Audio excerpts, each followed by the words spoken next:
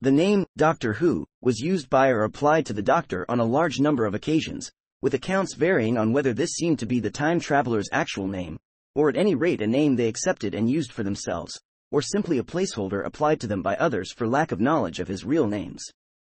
The third Doctor once stated that his real name was not Doctor Who, but that others often called him that for lack of him divulging his actual true name. The Master addressed a postcard to the third Doctor as Doctor Who, Missy later made two bold claims to Bill Potts in quick succession. First that Doctor Who was in fact the Doctor's real name, and second that it was, more specifically, an alias he had chosen himself early on, as an attempt to sound mysterious. In this account, he would later drop the Who, because it was a tiny bit on the nose. The twelfth Doctor told Bill she was just trying to wind her up, but he later identified himself as Doctor Who to George, noting that he liked the name.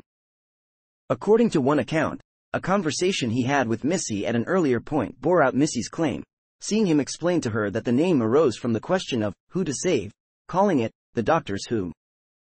And when Citizen 327 kiloliters asked, Doctor Who, the fourth Doctor simply said, yes. The fourth Doctor outright stated that his name was Doctor Who, when Richard the Lionheart asked for his name. King Richard later referred to him as simply, Who. The TARDIS keeper on Gallifrey also knew the Doctor as Who. The computer Wotan repeatedly referred to the first Doctor as Doctor Who. And Fledge used the last name, Who.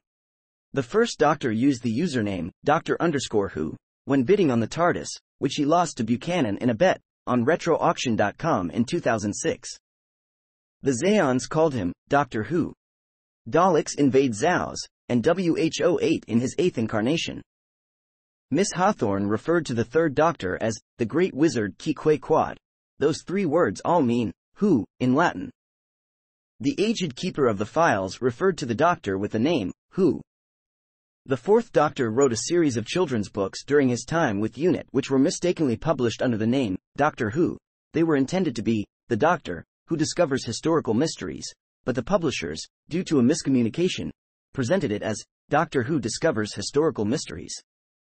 A version of the Doctor in a young boy's imagination, based off a fictional depiction of the Doctor off television, claimed that she was not allowed to refer to herself as Doctor Who, despite personally finding the brilliant. K9 occasionally made playful remarks related to the Who name.